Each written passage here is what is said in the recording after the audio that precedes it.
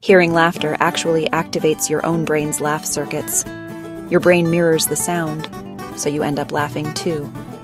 One laugh can start a chain reaction. Go ahead, try it.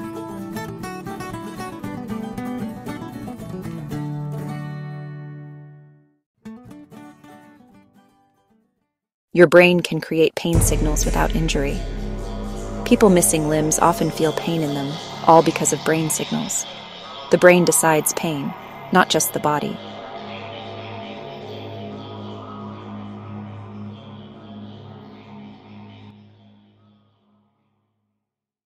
As you age, time feels like it speeds up.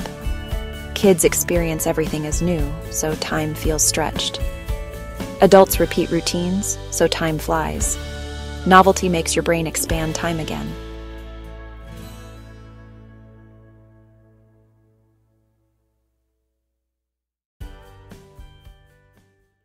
Your brain prioritizes beginnings and endings.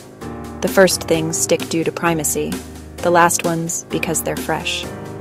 For learning or speeches, beginnings and endings matter most.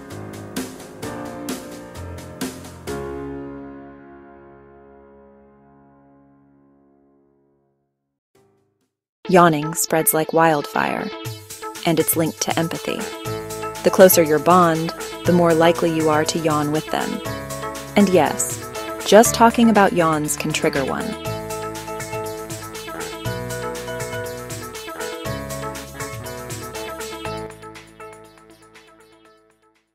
Switching tasks actually slows your brain down.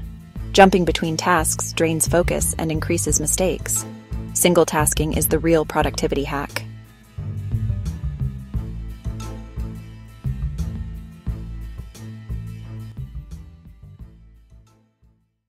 The dopamine spike happens in anticipation, not payoff. That's why the wait feels thrilling, but the payoff feels brief. The journey fires up your brain more than the destination.